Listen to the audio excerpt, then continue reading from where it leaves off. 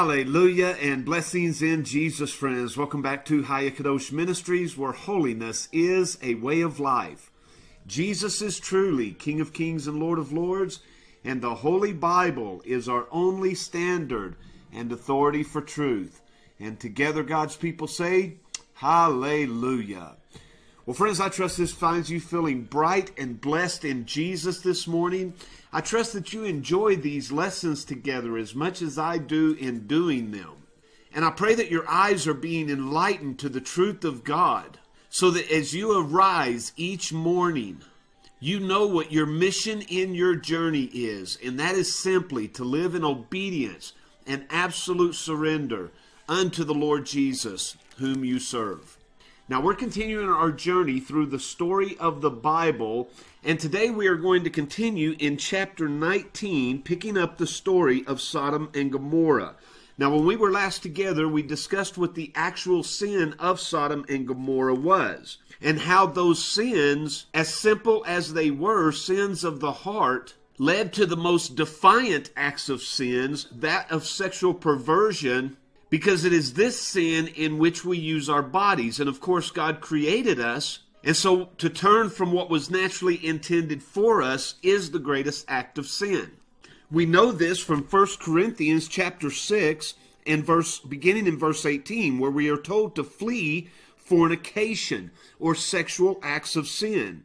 Every sin that a man doeth is without the body, but he that committeth fornication sinneth against his own body.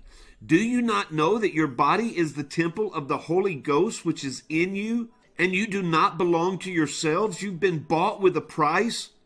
Therefore, glorify God in your body. Don't use your body for sexual sins and in such a form of rebellion, but in your spirit, glorify God in your body, which is God's. And so we're going to see in our story this morning that the men of Sodom were steeped in sexual acts of sin, specifically homosexuality, even to the point of wanting to commit these abominable acts with the angels of God. And so we pick up in verse 1, it says, There came two angels to Sodom at even, which is in the evening. And Lot sat in the gate of Sodom. And Lot, seeing them, rose up to meet them, and he bowed himself with his face toward the ground. And he said, Behold now, my lords, turn in, I pray you, into your servant's house, and tarry all night. Wash your feet, and when you rise in the morning, you can go on your way. And they said, No, but we will abide in the street all night. But he pressed upon them greatly, and they turned in unto him. And so he made them a feast, and they did eat.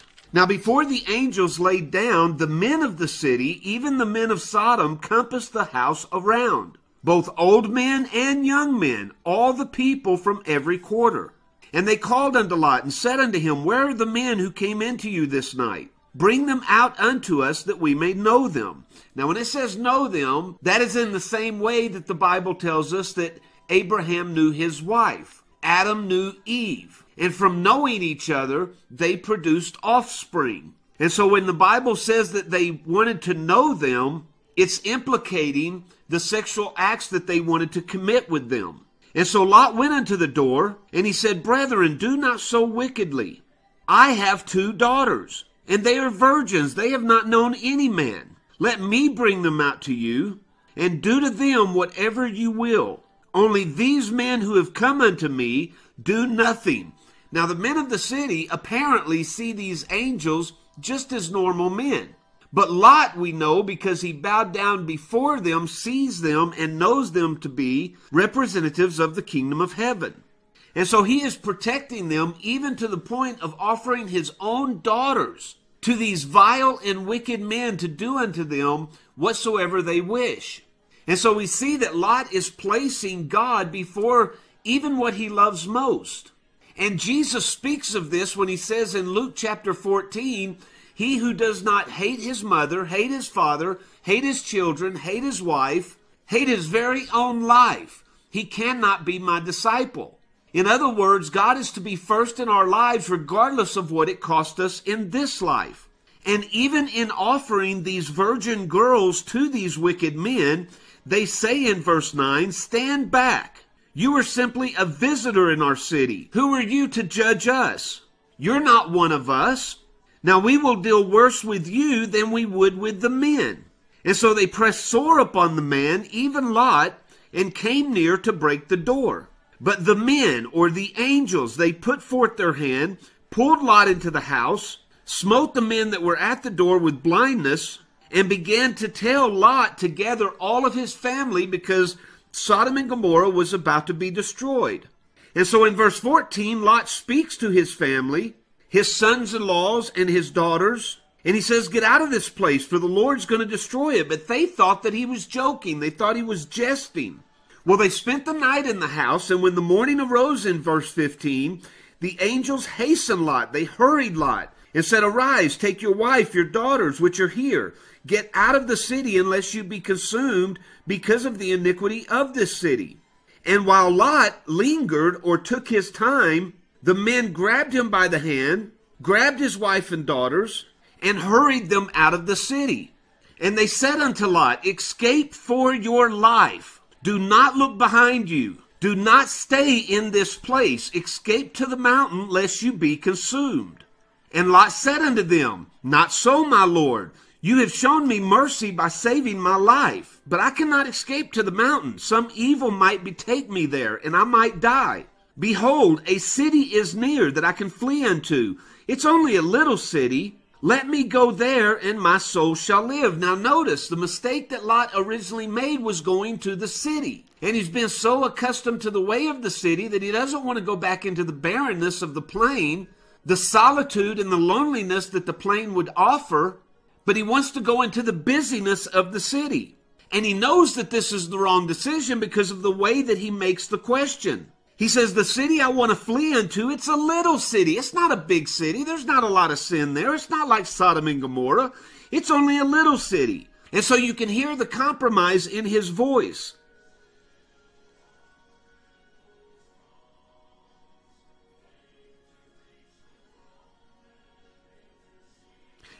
And so the angels, focused upon their mission, simply tell Lot to go. They give their approval.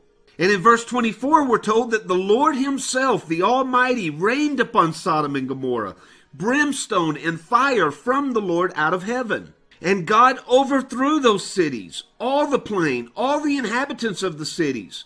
But Lot's wife looked back from behind him. She became a pillar of salt. Now, we kind of have to read between the lines here, which means that this is absolute speculation. But it would seem that the implication here is that Lot's wife looked back, missing what Sodom had to offer. That she desired to be in the city, and she regretted that Sodom and Gomorrah was being destroyed. And for this, the curse of God came upon her, and she became a pillar of salt. Again, entirely speculative, but it does make a lot of sense, especially when we look at our own journeys, and the Lord tells us to flee the wrath to come which is the world behind us, and to pursue righteousness, which is his kingdom. And so we are not to look back upon the things behind us with desire, a desire to return unto those things. Well, after Lot's wife becomes a pillar of salt, we're told in verse 30 that Lot went out of that tiny city called Zoar and he dwelt in the mountain, which was the one place he didn't want to go. But something finally triggered within him, and he understood the danger that lies within the city. And he took his two daughters with him, for he feared to dwell in Zoar. Why? Because he knew how his soul had been vexed, how he was tormented day and night in the city, being racked with guilt and shame, knowing that he's living outside of the obedience of God. And so his fear drove him into the caves of the mountains. 2 Peter chapter 2 verse 6 says, Turning the cities of Sodom and Gomorrah into ashes, God condemned them with an overthrow, making them an example unto those that should live thereafter ungodly. But he delivered just Lot, who was vexed with the filthy manner of living of the wicked. His soul was weighed down and tormented each day. And so he finds the solitude that his soul is craving in the empty places of the mountains, specifically these caves that he dwelt in. And friends, I can assure you how much happier you and I would be if our dwelling place was in the solitude of those mountains as opposed to these unrighteous, ungodly cities that we live within. Well, now the chapter ends by telling us that the, the daughters of Lot had given up any hope of producing children. And so in verse 31, the firstborn said unto the younger, Our father is old, and there's not a man in the earth to come in unto us after the manner of all the earth. There are no men around us, so if our father dies, if we're going to carry on his seed, we must get our father drunk, lie with him, and then we can produce offspring. And so in verse 33, they made the father drink wine that night. The firstborn went in, lay with her father. He didn't know that she had laid with him, and she arose. The next morning the firstborn said unto the younger, Behold, I lay yesternight with our father. Let us make him drink wine again tonight, and you go in this time, and you lie with him, so that you may bear offspring as well. And so in verse 35, they made their father drink wine that night also. The younger arose and lay with her father. Now he knew not what she had done unto him, and both the daughters of Lot were with child by their father. Now the firstborn bare a son, she called his name Moab, and he became the father of the Moabites. The younger also bare a son, called his name Ben Ami, the same as the father of the children of Ammon unto this day.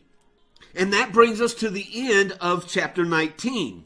Now, I think what we take away from this chapter more than anything else, and there are many lessons within this chapter, but I think what's more relevant to us in our day by day journey unto the Lord Jesus is the fact that many of us do not have the liberty to leave all behind, go to a cave, and make it our dwelling place until the day that we die. And although it would be difficult for us to do that, we would grow in both our knowledge and our relationship of the Lord even greater than we do now simply because many of the distractions that the city holds for us, we would be absent of in those places of solitude. But as I stated, many of us don't have that liberty to do such things. And yet we do not need to feel that the Christian life is one of defeat because we are under such vexation, that we live in the midst of such evil. For where sin abounds, friends, grace even more abounds.